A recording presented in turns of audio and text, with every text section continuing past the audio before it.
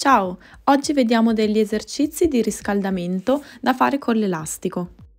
Sono tutti esercizi di mobilità articolare, vanno eseguiti in modo dinamico ma controllato. Puoi inserirli in una seduta di riscaldamento prima di effettuare un allenamento in palestra. Ripeti ogni esercizio circa 10 volte.